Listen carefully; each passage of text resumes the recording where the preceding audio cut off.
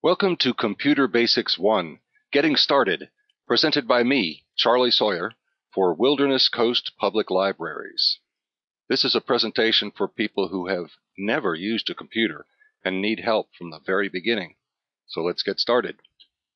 First thing we're going to do is look at the parts of a computer. Depending on where you're sitting, most of these parts are on a table or desk uh, around you or in front of you. Of course, you're looking at a monitor, which is like a TV screen, and it acts pretty much just like a TV screen, except, of course, it can have, in addition to moving pictures and uh, and uh, um, uh, still pictures, it can have text uh, as well that you can type and edit using this thing, the keyboard, which is like a typewriter. And you'll see that the keys are laid out just like a typewriter, but they have some extra keys and some extra things that we'll be going over. Then there's the mouse. The mouse is a what we call a navigation and selection tool. It allows you to uh, move a little cursor onto different things on the screen, and by pressing a button on the mouse to select them or to make something else happen on the screen. It's called a mouse because it's got a little round body with a long tail connecting it to the computer, although these days sometimes it's wireless so there's no tail. Somewhere nearby, either next to the computer, on the floor under the table, or uh, under the computer on top of the table, is a box. It could be vertical like this, it could be on its side, but it's the computer itself. And it's what uh, does all the work, and it has circuit boards, fans, and storage media, and ways for other devices to be hooked up to it, and ways for transportable storage media to be uh, put in and out of it, such as CDs and, and memory sticks. Uh, you may have a printer nearby, or it may be across the room, uh, but it's what prints the words and pictures that you type on paper. You might have some speakers, uh, which are just like stereo speakers for uh, voice, music, and other sounds. And somewhere there's a modem. There's a device. It may not be visible to you there, but there's some way to connect to the outside world or to a network of some kind. Uh, these days, mostly it's a connection to the World Wide Web or the Internet. These are all the parts put together. Now, if you, you can think about the, the monitor, the speaker, and the printer as three different ways to get information out of the computer uh, by watching, reading, listening, and printing. There's only two ways to get, uh, immediately anyway, information into the computer, and that's the keyboard and the mouse. But the computer is what does the work. We'll start with the keyboard and the mouse. Let's take a look at the keyboard. Uh, the keyboard, thankfully, the main part of it anyway, is laid out pretty much as typewriters have been laid out for well over 100 years now, I suppose, with the QWERTY, Q W E R T Y style of keyboard layout, standard typewriter layout. That's the bulk of those keys on that keyboard. But there are a lot of other keys here, and so that's what we're going to talk about right now. Uh, go to the upper left, there's an escape key that's sort of an emergency uh, get it, let's get out of here key. It doesn't always work, but most programs are set up so that if, uh, you're in the middle of something and you decide you change your mind, uh, that you can often press that key and kind of get out or uh, out of the thing you're doing and back to another screen where you might be able to um, figure out what to do next better. There's a row of keys called function keys. We're not going to cover them today, but they're uh, numbered F1 through F12. And if you were using, say, a, a, computer at a point of sale in a store, you might assign specific functions to those keys, such as add sales tax or something like that. But uh, it's going to be different for every setup, although they do have functions that are pretty handy. It's just for a later, more uh, advanced course. There'll be some specialized keys near the upper right, such as print screen, scroll lock, pause, uh, we're not going to cover those today either because they're rarely used. Uh, let's get back to this, uh, the main keyboard, the QWERTY keyboard. Uh, there's a row of, there's numbers along the top, and above those numbers are individual characters like an at sign, a number sign, a dollar sign. Um, and just like regular old-fashioned typewriters, pressing the Shift key, and you'll find Shift keys on the lower left and lower right side of the computer or keyboard.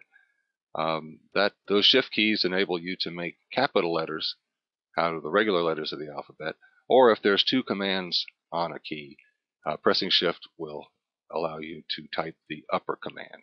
For instance, if you wanted to type a dollar sign, you would press shift and then press the number 4 at the very top where the dollar sign is. Uh, you've got a tab key, which is very much like uh, an indent key on a typewriter, although it has some more functions. You've got a caps lock key, which works just like the cap, the locking of capitals key on a typewriter.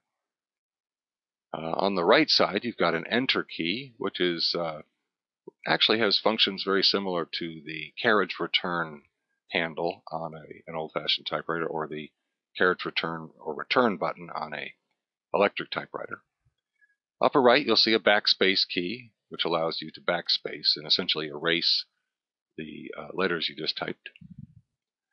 Uh, but that's, uh, oh yeah, can't forget the space bar. The large bar in the center near the bottom, uh, at the bottom is the space bar, and that's for putting spaces between words or characters.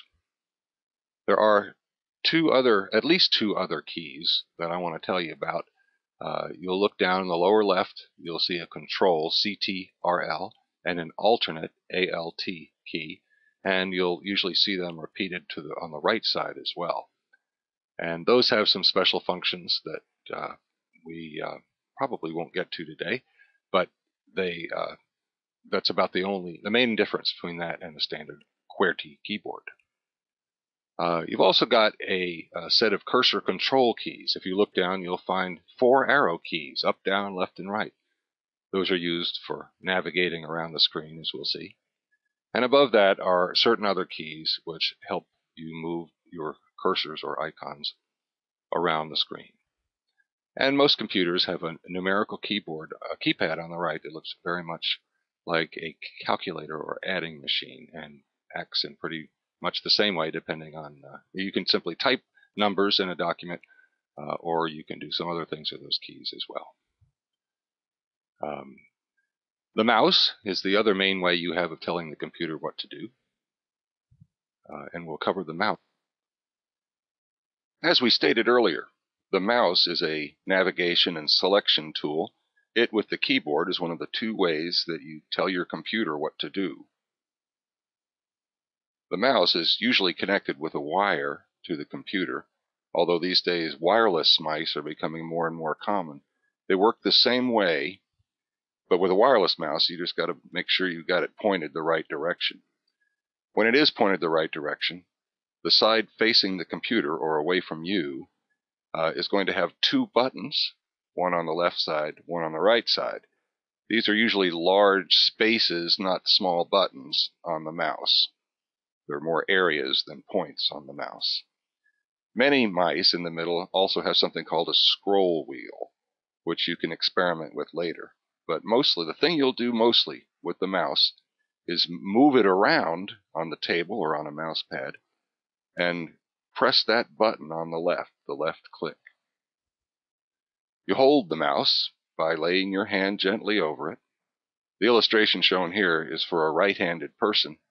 And when a right-handed person lays their hand on the mouse, uh, their index finger falls naturally on this left button area of the mouse. Now, for a left-handed person, uh, it would be, say, the ring finger would fall over the, the left button.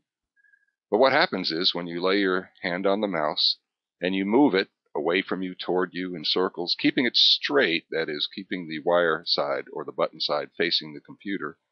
You can move it around and it'll move a pointer or cursor on the screen. Uh, that's uh, basically how you use a mouse. Now, as you uh, you can go ahead now and lay your hand on the mouse and move it around on the screen in front of you. You should be able to see a cursor or a pointer that looks like one of the ones shown on the screen here. Um, but what do you do with a mouse? Well, we're going to find out because next we're going to talk about the desktop. That is the area on the screen that is uh, what you see when you first turn on your computer. The first thing you'll probably notice about the desktop is that the one on the screen in this little presentation doesn't look like the one on your computer. That's because this is customizable. Uh, every computer is going to have a different background picture, different icons placed on the desktop, those little symbols that are around there, program icons usually, or file folders. Uh, there's going to be different icons at the bottom as well, but they're all arranged in pretty much the same way. The big, broad, full screen desktop area will contain program icons and file folders and maybe a few other tools. The notification area in the lower right, uh, you won't mess with that much unless you want to say change the volume of sound on your computer. Uh, there's a few other uses that later on you'll get into. In the middle at the bottom, whatever program you have open at the time will be shown there. Near the left side, the quick launch toolbar, that's customizable as well. Uh, every computer is going to look a little different there, and some of them may have very few or no icons in that area. But every Windows computer does have one thing in common on that desktop, and that is the Start button in the lower left. The Start button is, for most people, exactly what it says, where you start. On a Windows Vista computer, that Windows Start button doesn't say Start anymore, unless you roll your cursor over it with the mouse. Then a little sign pops up telling you what it is. Uh, but it's uh, the key to getting started with a Windows computer. Uh, after you practice using the mouse and learn how to click, you're going to click on that Start button, and it's going to open up a menu. And it looks pretty complicated, and it is. But this is the, the, the best place to get started when learning how to use a computer. And uh, as, as intimidating as it may seem, this is as simple as they usually make it. Once again, if you click this on your computer, it probably will not look exactly like the one shown on this screen, but it will have all the same things in more or less the same area. The start menu you're looking at right now is a Windows Vista start menu. And the Windows XP computers also have a slightly different layout, but you'll find most of the same sorts of buttons. Let me just give you a quick verbal tour of this, and then we're going to uh, switch from this PowerPoint presentation I've been showing you to uh, some live action. Um, let's we'll start at the uh, upper left. There's usually, when you get your computer, a few buttons like Internet Explorer and maybe an email button up in the upper left. Uh, there'll be there may be some other program icons loaded depending on what computer what software is on your computer. There'll be below that uh, an area that says All Programs. And when you click there, it'll open up a series of files and folders that allow you to navigate to uh, the various programs that are on your computer. Over on the right side, Windows Vista Start menu uh, has some uh, quick links to your files and folders that you'll be building up on your computer as you compose letters or documents and save them, or pictures, or anything else. Um, there's a, a, way to get quick access to things you've been working on recently in the recent items section. And there are ways to personalize or change computer settings, control panel, default programs are the two links for that in Vista. And there's a place for you to get help and support. The lower right are some buttons to turn your computer off or to restart it. And there down in the bottom is one of the things that Windows Vista uh, is a uh, is uh, got a real plus in, and that is its search capabilities. You can type words into that box and click the little magnifying glass icon there, and you'll be able to uh, find things on your computer that you otherwise might not know where they are. But going back to that all programs, even on a brand new computer, if you click that, you get a very complex uh, list of programs, and you'll probably not know what many of them are. What's a snipping tool? What's a sync center? Uh, well, uh, it is complicated, and that's why I guess you're in a class here to learn how to do this stuff. But uh, to find things, say if you want, there's usually a calculator that comes with your computer, and you'd have to open the folder called accessories, and in there are all the accessories, including calculator and WordPad. We're going to look at WordPad in a minute, uh, and calculator as well, as part of our mouse practice. What you're looking at right now is the desktop to my computer at home. It's customized to my preferences, And it's, uh, of course, not going to look exactly like the desktop to the computer you're looking at now or to the one you may have at home. What I want to do is give you some practice using the mouse uh, because you can't open programs, you can't do anything until you learn how to use that mouse. Uh, so what I recommend is that you get someone to help you to open one of the programs that I'm uh, going to show you how to use that are good mouse practice programs just to get you used to using it. Uh, after you know how to use it, then eventually you'll learn how to open these programs yourself. But if you put your hand on the mouse itself, move it around, you'll see that this, uh, I'm moving my mouse in just a small circle, keeping it aimed away from me, and I'm moving this arrow that you see on the screen all around. Uh, and that's uh, basically how you move the mouse around. And I'm going to uh, show you that, uh, well, let's take a look at this. I'm going to click on the Start menu and open it up. Because what I'm going to do is get to the calculator that comes with uh, Windows so that you can practice with that. And I've put my mouse on the button that says All Program, and I press that left mouse button. I move it up here to this folder called Accessories, and I'm going to press that left mouse button again, and it opens the folder. And there inside is something that says Calculator. When I press on that icon, it opens a calculator. I move my mouse up to it. I can actually press this left mouse button down on this blue area and move it right to the center of the screen. I know it's not very big, but that's what they give you with Windows computers. So if I want to work this calculator, I put my cursor over the number 2, press that left mouse button just once, and the number 2 appears in the window up there. Then I click on the little plus icon, click that 2 again, and then click on, move over here and click on the equal sign. 2 plus 2 equals 4, just like any calculator. Press clear. Let me do that again. I use a bigger number. I'll click 2, 5, and then let's do some multiplication. This little icon right here.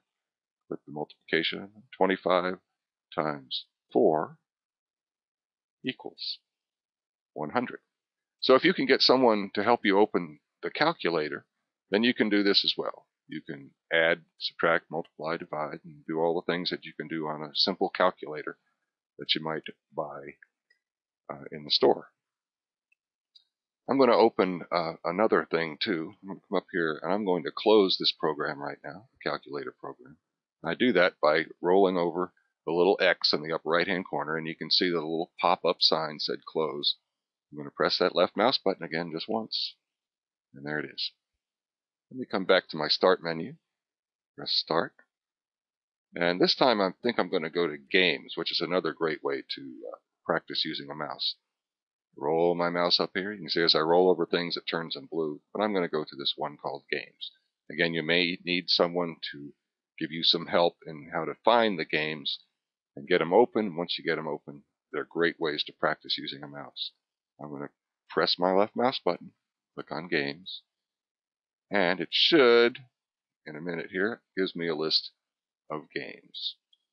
Now, there is uh, lots of different things in here, but I'm going to pick a game that most people are familiar with. Uh, for instance, uh, solitaire. It's right down here. And there's an even simpler version of solitaire called spider solitaire, which just, uh, I think it, uh, you'll see in a minute, uh, works more or less the same way, but it's a little different. I clicked on that icon, and what it did was it, you know, showed me a little preview of the icon over here and turned this here blue. Why didn't it open? Well, many programs, when you get into these menus, you actually have to click twice and you have to click twice fairly quickly. I'm going to double click. That's what it's called. Two clicks of that left mouse button in fairly rapid succession. It may take you some practice to get used to how fast you have to click it. I'm going to go click, click, and it opens. That was pretty quick. Click, click. And you can see what's happening here. It's filling the screen with cards. Now in Spider Solitaire, you can see that they're all the same suit. That's just to make it simpler for us today. But it works pretty much uh, like regular Solitaire, in which you try to arrange things into numerical sequence. Taking a look at what I got here, and I can see a few places where I can make that happen right now. So I'm going to move the mouse on the mouse pad up here and put it on this 3 card. I'm going to press the left mouse button down and hold it, and then move my mouse, and you can see that I have now grabbed this card. I'm still holding, I'm not releasing. I'm going to put it here under the 4. Now I'm going to release, and there it is in place. You can get the idea here. I'm going to move this queen under the king, click it, hold the click down, the left mouse button, and move the mouse over here into position under the king. 6 goes under 7, click under here, and release. There's another 6 that can go under 7, and our 7 can go under this 8. So you can see why this is great practice for learning how to use a mouse because it is uh, you have to do a lot of clicking and holding. Um, and I won't go any farther with this, but you know you can. Uh, the games are programmed. I'm going to go over here to this stack of cards and click on it, and just like in solitaire, you can uh, draw some fresh cards if you get to a place. But anyway, we're not here to teach you how to play solitaire, uh, but this is a good way to practice using a mouse. Next, uh, we're going to uh, open a program, one that's uh, fairly simple actually, uh, and that will uh, we're going to explain how programs are laid out. Now, I'm going to go back here and click on my Start button again. Click on that thing and open it up. Again, this looks pretty complicated, but you also saw when I clicked on All Programs, it opened up a lot of other windows, so it's even more complicated than it looks at first glance. And, and I know that, and you know that. It's just going to take time and experience working with it. Let me click outside of this box to close it again and get back in without that even more complicated thing showing. Uh, as I when I click here, uh, you can see that the programs that I use a lot are I have customized this menu and put them in here to make them give me easy access to them. Uh, one, the one we're going to work with next is called WordPad because it's a very simple word processor, and most people want to be able to write on their computer. I'm not going to click here just yet. I could, but I want to point something out not to make your life more complicated, but just let you know that you can even simplify your life further. As you learn these skills, you'll be able to do this. Here's an icon on my desktop. I'm going to click on it once just to drag it up here where we can see it better. I'm clicking and holding putting it up here sort of in the middle where we can see it. It's highlighted right now because I clicked on it. But that is, uh, we'll do the same thing. If I click on this, it will open the program called WordPad. There it is too. If I click there, it will open the same program called WordPad. I clicked outside that box to close it.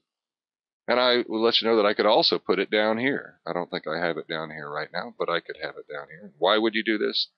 As you learn to work with these programs, you'll see that, that the things you work with every day, you want to put them somewhere where it's easier to get at than navigating through files and folders to get at it.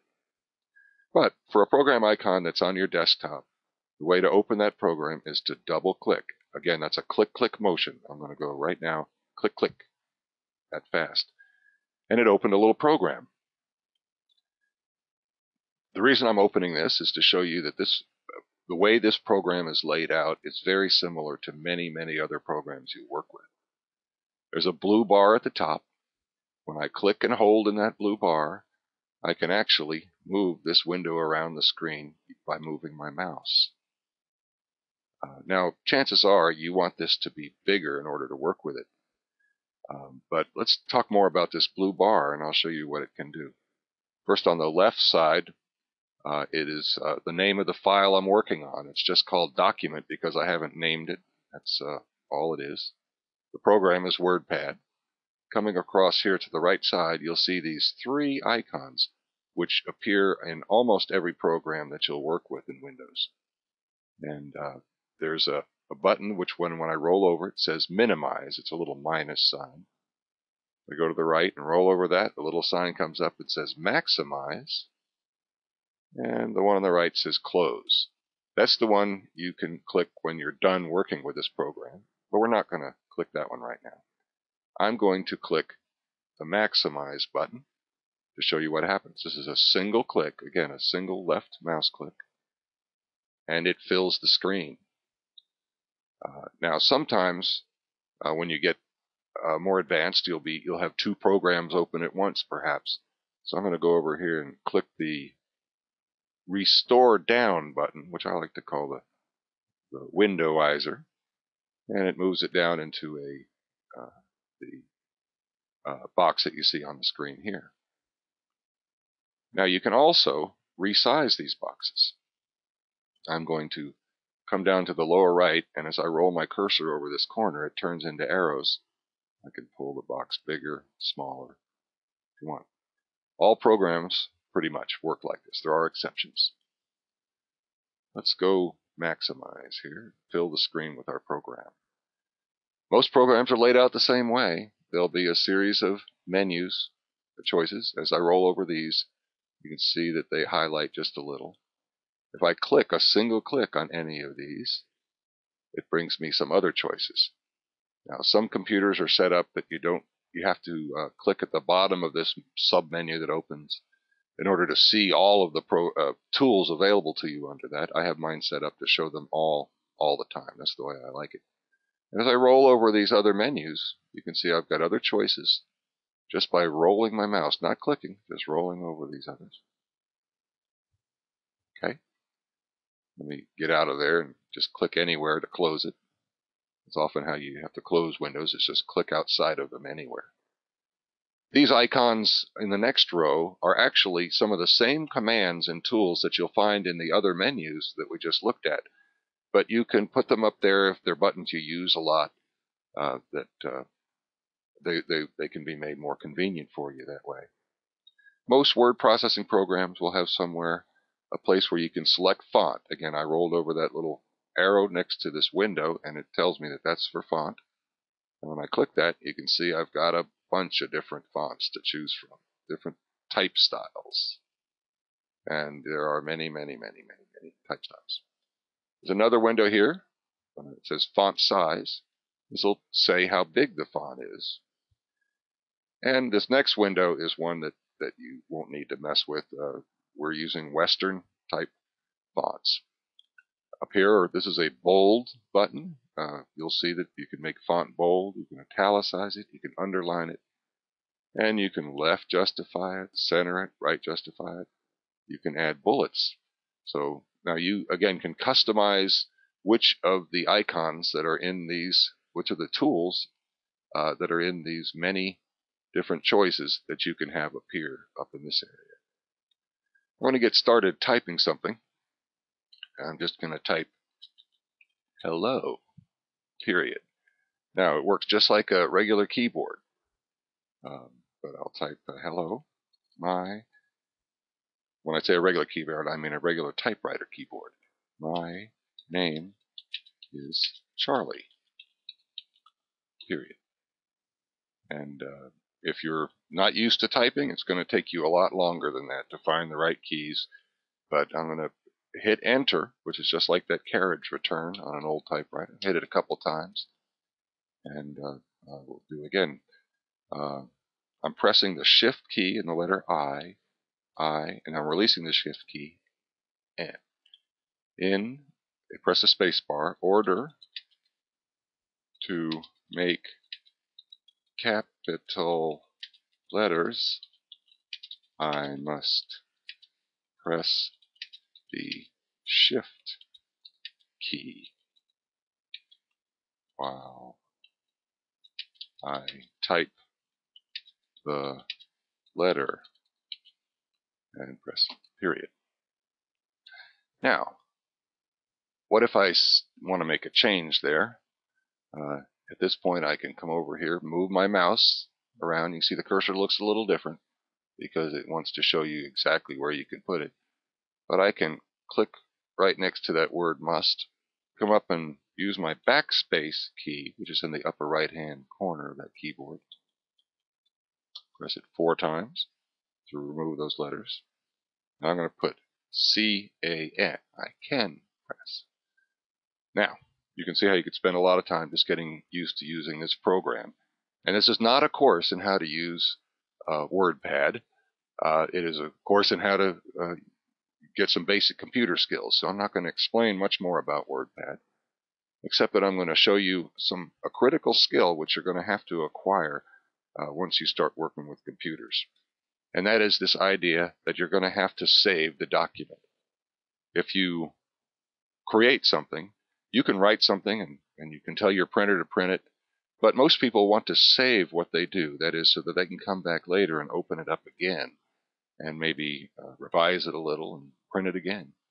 Very common thing to want to be able to do. So I'm going to show you how to do that. Because usually one thing you'll learn is that there are two or three ways to do everything.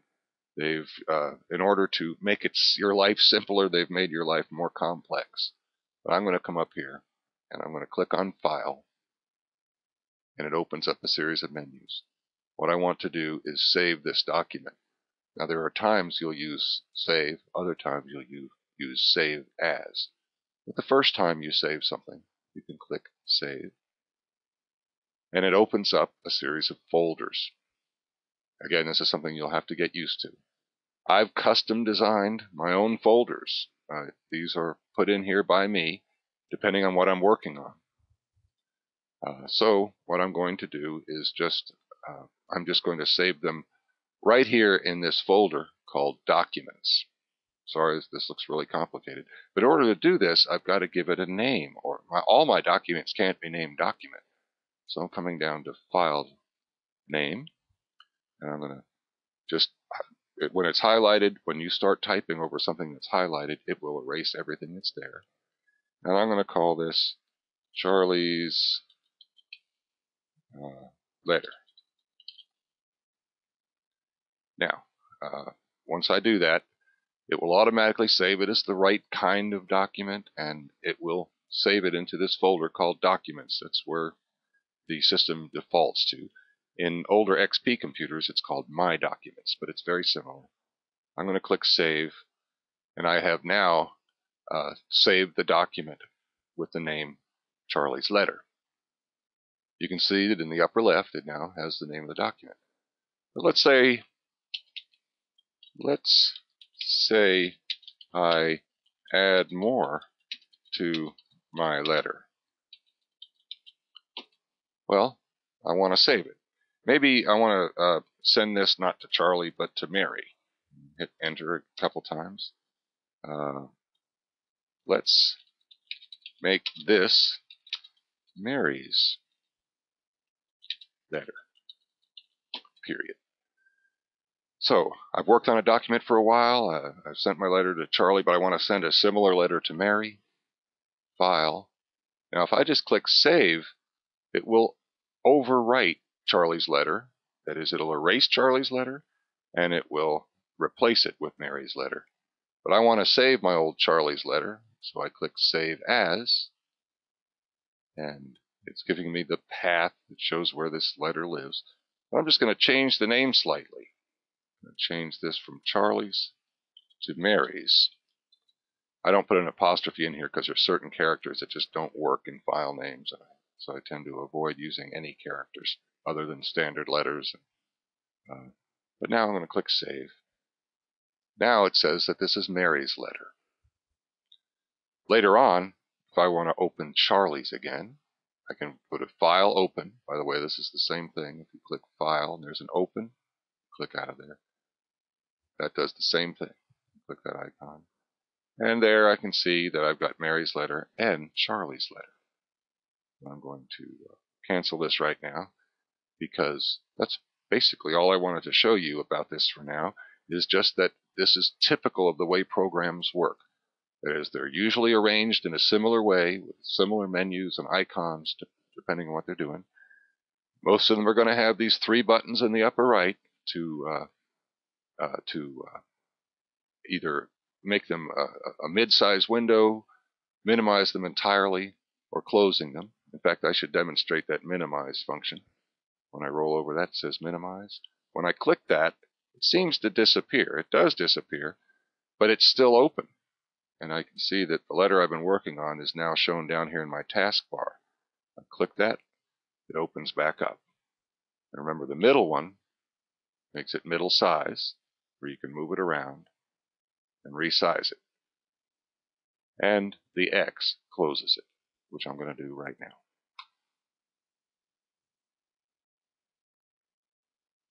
Now the last thing I'm going to show you today is how to get help when you're working with a computer. That is, how to get access to the help that's built into the computer. And for some of you who have never touched a computer before today, uh, you're gonna it's gonna seem a, this is all gonna seem a little overwhelming.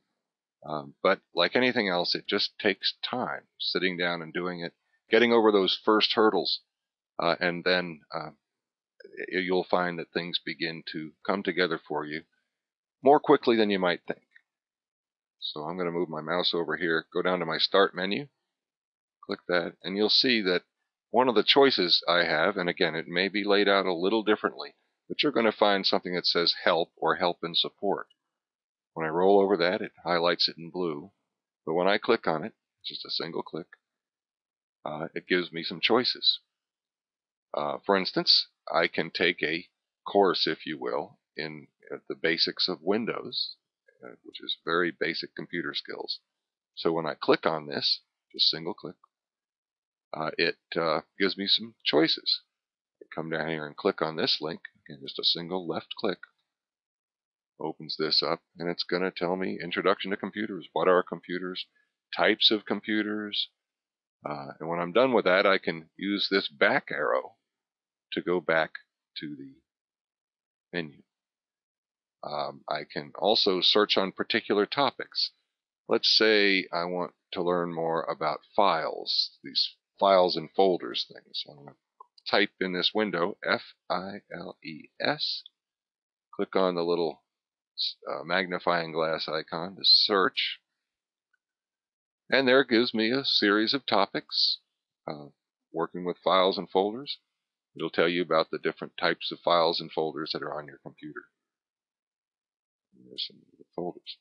Uh, by the way, I'm moving down this page by rotating the scroll wheel on my mouse, which we haven't talked about yet.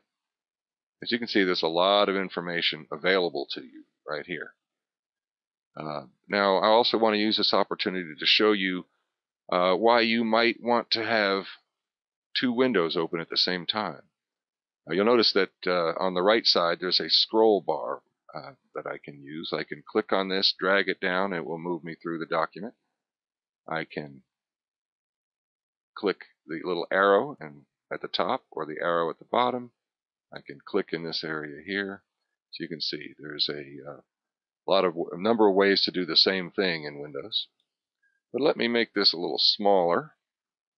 Say, and I'm going to move it over to the side. And now I'm going to open I can see my desktop. There's the icon for WordPad. Let me double click on that to open it. Now what you can do is you can actually set this up so when you're trying to figure something out, like how to save, save uh, how to save, I'll just type that to have something in here to save. When I come up here to go File and Save, you might go, oh, there's a bunch of folders and files. Well, there it is right over here is how to work with files and folders. So you can keep this help open on one side uh, while you're working with the program on the other side. I'm going to cancel this for now. I'm not going to save this. I'm going to click X to close it. And do I want to save it? No, don't save. And we move this back in here and close that out. And I'm going to, I already have a file open here that I'm going to click to open. And uh, it's by way of closing credits. Here it is. Um, this is uh, the conclusion of Computer Basics 1 getting started. I'm going to come over here and scroll down for the rest of the credits presented for WILD, Wilderness Coast Public Libraries. Please attend the classes in person if you can because there's so much more we can do in person than trying to recreate it in this video mode. But maybe the video will help you too. Thank you very much. I'm Charlie Sawyer.